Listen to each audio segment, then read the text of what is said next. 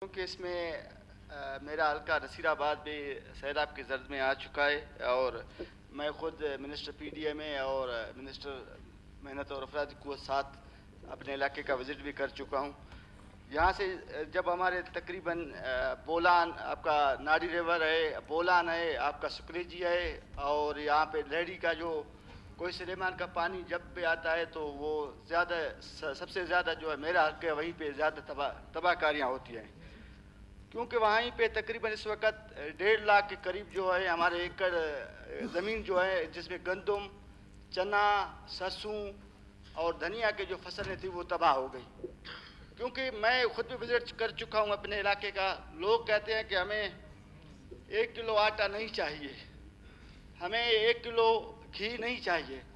ہمارے جو تباہ کاریاں ہوئی ہے سب سے زیادہ جو زرعی حوالے سے، اب ہم یہ کیسے پورا کریں گے؟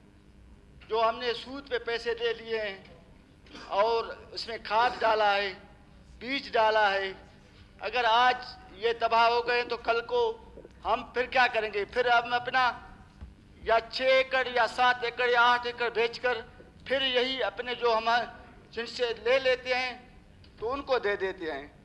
تو میرا سی ایم صاحب سے پہلے بات ہوا ہے، منسٹر پی ڈی اے میں بیٹھے ہوئے ہیں۔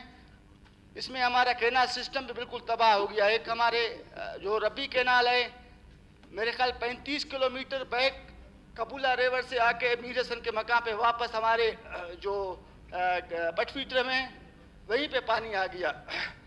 سلٹپ کی وجہ سے میرے خیال تین چار فٹ اور اس پہ سلٹپ ہو گیا۔ مین مقصد ہے اگر یہ پانی رک جائے گا ابھی، پھر ہمارے دوبارہ اس کی ڈیسلٹنگ ہونی چاہیے۔ اور اس کے ساتھ ہمارے ایک ڈیم تھا انتم ڈیم، بالکل وہ بھی تباہ ہو گیا ہے۔ اور اس کے ساتھ ساتھ میرا یہی یہی قائدیوان بیٹھے ہوئے ہیں۔ وہ لوگ کہتے ہیں کہ ہمیں یہ چیزیں نہیں چاہیے کہ اگر پانچ کلو آٹا ملے یا ایک کلو گھی، صرف ہمارا جو زرعی زمینیں تباہ ہوئے ہیں، ان کا معاوضہ ہمیں دیا جائے تاکہ ہم جو سود پہ پیسے لیے ہیں لوگوں سے یا کہیں سے کسی سے، تاکہ ہم وہ اپنا ادا کر دیں۔ شکریہ۔ پندرہ پندرہ منٹ کے لیے نماز کا وقفہ۔